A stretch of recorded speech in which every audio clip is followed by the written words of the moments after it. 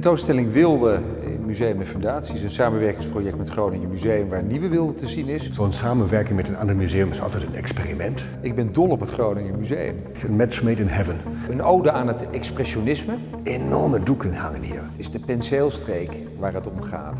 Nog harder schreeuwen eigenlijk om aandacht te krijgen. Het gaat om vrijheid. Wat je zowel bij wilde als bij nieuwe wilde ziet, is de allerindividueelste uiting van de allerindividueelste emotie.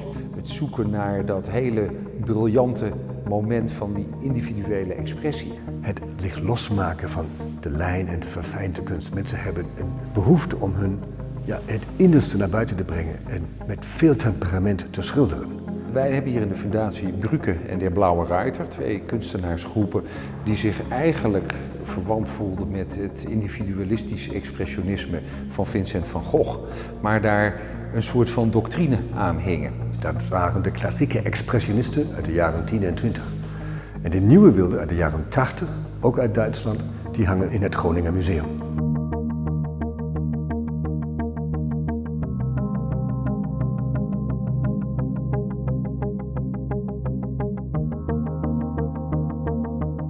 Dit laat eigenlijk de essentie van Brücke heel erg zien.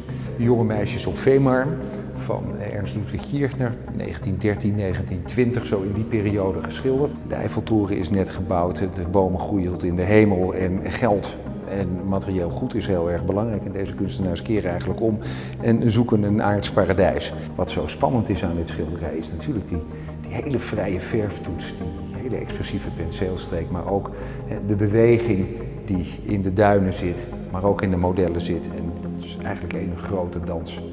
Onvoorstelbaar fijn om dit eh, werk in Zwolle te hebben. De wilden, met name de Brukenleden, die gingen weg uit de metropool. Die gingen weg uit de stad en die gingen eigenlijk paradijzen creëren op het platteland. Het was niet de metropool en het was niet het grote uitgaan. En dat is nou precies wat je bij de nieuwe wilde wel ziet. En daar zie je het stadse leven, daar zie je de heftigheid, daar zie je de, de erotiek van het uitgaansbestaan, de cosmopoliet. Ik sta hier voor Reiner Vettings eerste muurschildering van 1977. Nou, het Berlijnse muur is een architectuur-icoon, maar alles behalve mooi. Daar word je ook wel een beetje depressief van, zeker als je het meegemaakt. En toch is het Vetting gelukt eigenlijk een heel mooie compositie daarvan te maken. Dat je bijna vergeet wat een eng onderwerp het eigenlijk is. Dat spreekt me aan, gewoon vanuit persoonlijke geschiedenis, maar ook met die afstand die je hebt. En wat is nou de actualiteit hiervan? Het is, het is kunst van vrijheid. Het zijn niet alleen kunstenaars die zich eh, ontworstelden aan de uiterlijke grenzen van de kunst, hè, die met hun expressiviteit die grenzen deden knallen. Maar het, is ook, het heeft ook met geestelijke vrijheid te maken. Het heeft ook met identiteit te maken, met het durven zijn van een vrij mens. En dat was zo hè, in die eerste decennia na de eeuwwisseling in de vorige eeuw. En dat was ook zo in de jaren 70 en de jaren 80.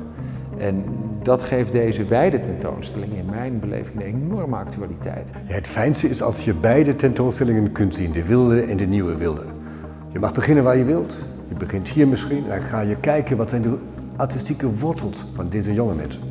Of je begint in Zwolle in de fundatie bij de expressionisten.